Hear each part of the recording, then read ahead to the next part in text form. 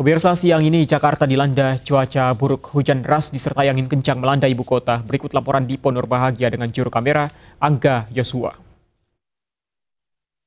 Memasuki pertengahan bulan Desember pada akhir tahun 2017, nampaknya cuaca buruk ini akan kembali menyelimuti ibu kota Provinsi DKI Jakarta khususnya terkait dengan intensitas hujan yang cukup tinggi. Seperti pada siang hari ini, dapat dilihat di belakang saya ini sedang terjadi hujan yang sangat lebat. Walaupun pada saat ini masih dalam kategori siang hari, namun bisa dilihat ini tidak ada matahari yang nampak dan juga memang intensitas hujan ini dapat dikatakan memang sangat tinggi. Tidak hanya terkait dengan intensitas, intensitas hujan yang tinggi, namun hujan ini juga disertai dengan angin lebat, kemudian juga kilatan petir yang memang beberapa kali kami lihat menyambar beberapa wilayah yang ada di Provinsi DKI Jakarta. Akibat hujan ini memang sejumlah genangan ini memang juga sudah mulai terlihat dan di mana para kendaraan ini tentunya harus berhati-hati agar tidak mengalami kerusakan pada kendaraannya. Badan Meteorologi, Klimatologi, dan Geofisika ini juga memprediksi bahwa hujan ini akan terjadi sampai dengan sore hari nanti dan memang terjadi ini hampir di seluruh wilayah Provinsi DKI Jakarta. Pemerintah Provinsi DKI Jakarta pun nampaknya harus memfokuskan perhatian ini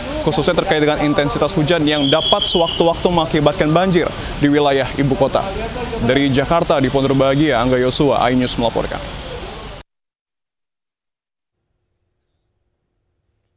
Sebentar tapi udah banjir tuh udah setengah dan nggak boleh lewat situ karena itu makin dalam makin rendah permukaan tanahnya.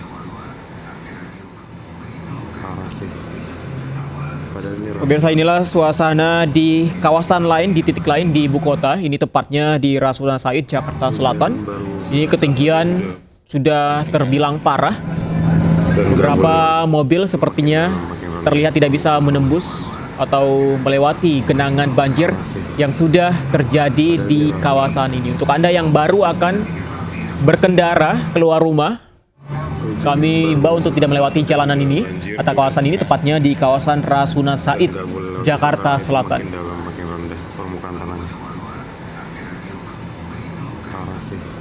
Informasi ini kami dapatkan dari NTMC Polda Metro Jaya pemirsa. Sekali lagi ini adalah di kawasan Rasuna Said, Jakarta Selatan. Hujan baru sebentar tapi